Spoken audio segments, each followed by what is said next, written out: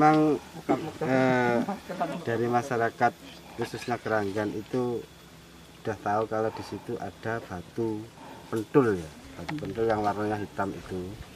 Eh, memang kalau menurut cerita eh, mbah-mbah kita dulu, setiap malam-malam tertentu itu mengeluarkan suara atau tabuhan jaranan.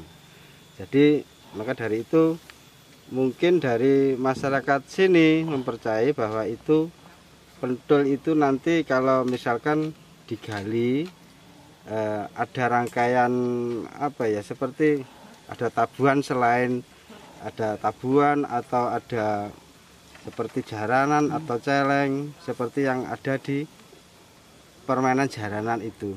Dari masyarakat itu seperti itu tapi eh, kita nggak tahu ya eh, kelanjutan se- seandainya nanti diadakan penggalian itu itu berupa apa? Selanjutnya kita belum tahu hanya dari masyarakat itu pernah eh, ya percaya bahwa di situ ada batu yang namanya batu pentul yang setiap malam-malam tertentu mengeluarkan suara-suara jaranan. Itu sudah dipercaya dari masyarakat. Makanya- Gamelan jaranan maksudnya. Iya, nama jaran ya tabuhan jaranan seperti jaranan pada waktu main itu.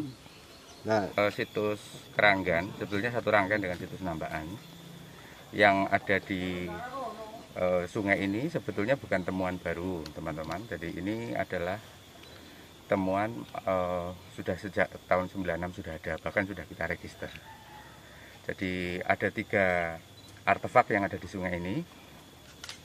Yang pertama kala kedua batu itu batu yang ber eh, apa bertakik begitu sama antofik dan masing-masing itu sudah punya nomor eh, KDR 09 sampai KDR 11 Kenapa tidak diambil Pak waktu itu? Iya, jadi pertanyaan kenapa nggak di, nggak dipindah begitu ya? Padahal sudah lama.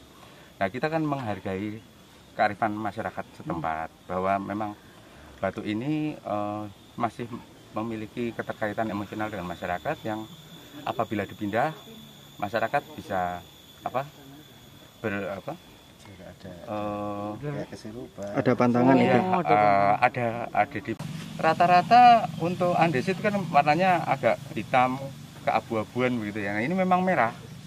Hmm. Jadi ini memang mungkin memang dipilih merah. Nah, ini fungsinya kan sebetulnya di di atas ambang pintu.